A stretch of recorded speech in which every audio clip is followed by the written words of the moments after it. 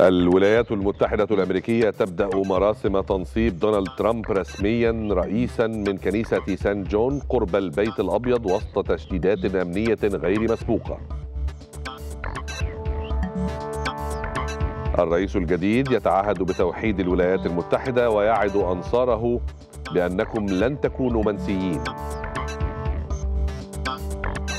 ومظاهرات متفرقة ضد الرئيس الجديد والشرطة تطلق الغاز المسيل للدموع.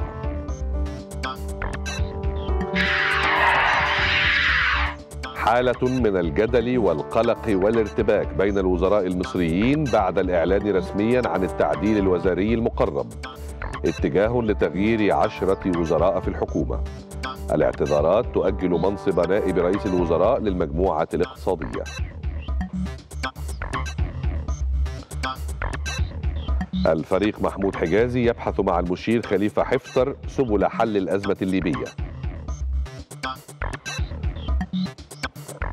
ووزارة التضامن تعلن صرف 402 مليون جنيه مساعدات تكافل وكرامة عن شهر يناير.